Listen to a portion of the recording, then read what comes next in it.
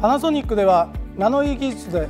13種類の花粉を抑制することを実証してきました。そして今回その抑制した花粉が細胞に及ぼす影響を麻布大学との共同研究で新たに確認しました。今回花粉症の症状に関わる免疫細胞にナノイーで抑制した花粉アレルゲンを接触させアレルギー反応を観察しました。花粉症は免疫細胞の過剰反応によって起こるのですが今回の観察では免疫細胞がナノイーで抑制した花粉をアレルゲンと認識していないことが確認されそれにより花粉症発症に関わる抗体酸性を支持する T 細胞の活性化が抑制されていることが分かりました。つまりナノイーが花粉を抑制させることによりアレルギー症状の抑制が示唆されたということになります。